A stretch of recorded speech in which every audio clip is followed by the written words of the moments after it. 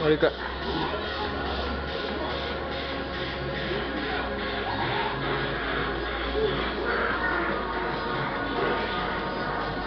si me pongo a ver la cámara me mareo.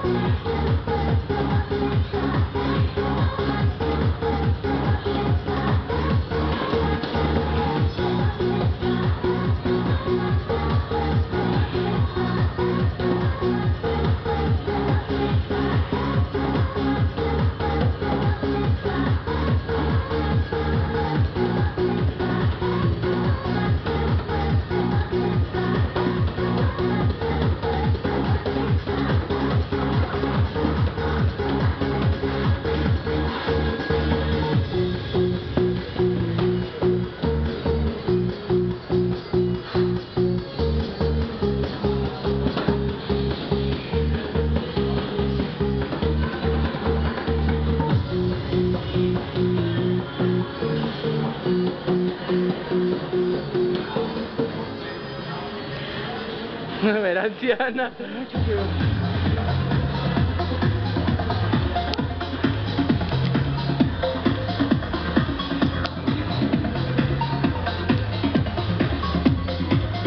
Happiness.